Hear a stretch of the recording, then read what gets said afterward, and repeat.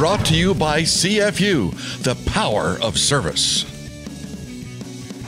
Welcome back inside the UNI Wrestling Room. Coach Schwab, Eric Braley, as uh, Trevor Anderson right out of the gates, 125 pounder. Some big wins, but when you beat the number one guy, uh, national spotlight, the, people start to notice that. Yeah, I think. Uh, you know, I've talked about the growth that we've been having as a team, but I think individually, and that, you know, he, he shows it. Um, you can win right away. And I think that's one thing we're trying to get these guys to understand. Like you've put a lot of work in, trust your work, and you've just seen him grow. But um, you know, a big win to be able to beat a, a number one guy at that time.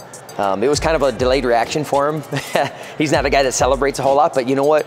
Um, I'm always I'm always okay with it. I enjoy that guys get that moment because you don't get a lot of those moments. But um, I don't know. He's really zeroing into to where he wants to wrestle, wrestle in those positions. And he'd had some injuries, and I think people forgot how good a wrestler that he is. And you know, he's he's starting to serve some notice to the country. But that was a big win for him individually, and then for our team just to.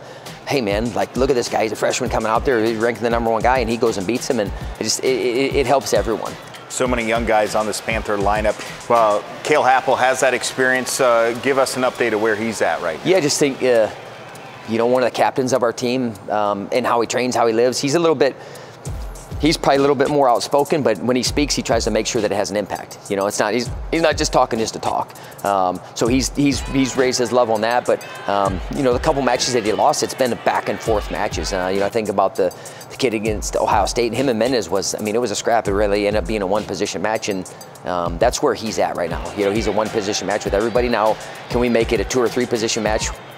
For us, and what I mean by that is you just got to create a few more opportunities for yourself. But um, you know, he's he's shown that he's one of the best guys in the country at that weight class, and man, I've seen I've seen even in some losses, I've seen some real growth out of him.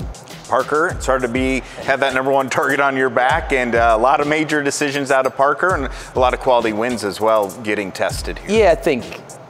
You, when I told him, I said, you've put yourself in that position. Like, why are you surprised that you're the number one guy in the country?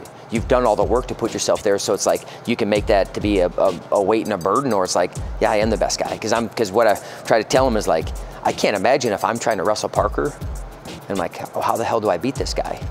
Because he's got a great head position. He can he can hand fight. He'll wrestle through the edge. He can wrestle with his butt to the edge. He can scramble through everything. Doesn't get tired. Yeah, I mean, he, you wrestle for position. He can't hold him down. You know, I mean, he can ride like he can everything. So I'm like, think about it from their perspective once in a while, because you know you can get caught up in that. Well, this guy's good here. It's like, yeah, this guy's good here. You're good everywhere. And you know, he's he's getting to be more comfortable with that. But you know, to think he's never going to have a close match because I think it's almost people like, well, what the hell? Why didn't he get bonus points? You know, because we're so used to him getting bonus points. But guys are going to find ways to try to make it tight and um, you know, he does a pretty good job of opening that up, but it's what he does in this room every day, and he leads the way that way, and he's done it from day one.